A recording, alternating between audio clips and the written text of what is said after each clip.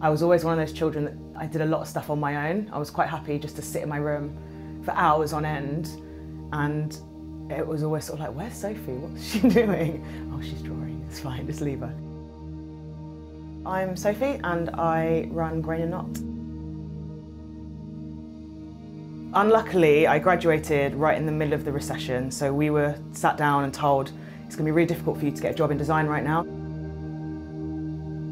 We'd started to notice a lot of handmade things coming into the foreground a lot more, so noticed that Instagram was being used differently. It was a, a real push for it being used for small businesses. Just chatting to one of my colleagues, I, I said, oh, I'd love to learn how to make these. And she started telling me about this company that you could go on wood carving workshops. I just really responded to it. It was just nice making something useful. So I carved obsessively for about a year.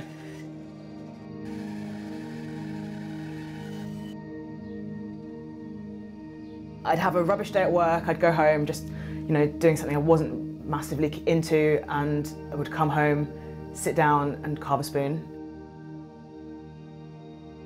It was almost like therapy. I could just, I was like, I can go in tomorrow now, it's fine, I can carry on.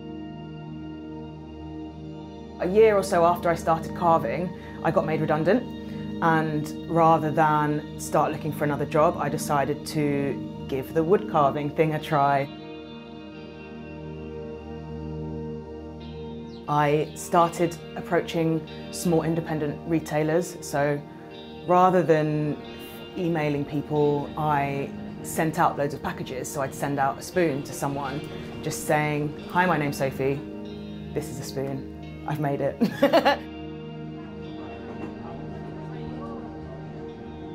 I've always sold stuff online and everything I make is so tactile and you just want to touch it and I've never really had the opportunity to invite people in to see the things I make, to physically pick them up and to feel the weight, get an understanding of the materials. So having a space where people can do that, it's just brilliant.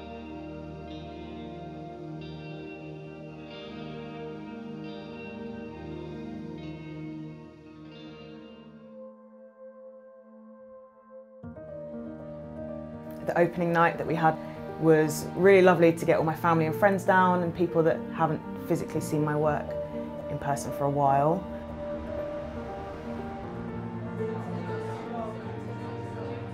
By having everyone in one space, being able to sort of celebrate the work that I've been doing for the past few years was a real turning point. For me personally, it's been five years that I've been doing this now, so by getting everyone together and having a celebration was, it's been brilliant.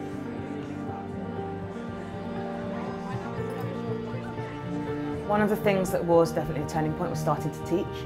So I, am teaching workshops while I'm in store as well. So as, as part of my idea was that while I'm in the space, not only am I working and continuing to make items that I will sell in store, it's just great to be able to teach others and pass on my skills. When someone finally does get the spoon to how they want it, it's so satisfying for me as well as them. So it's really, yeah, it's great to see.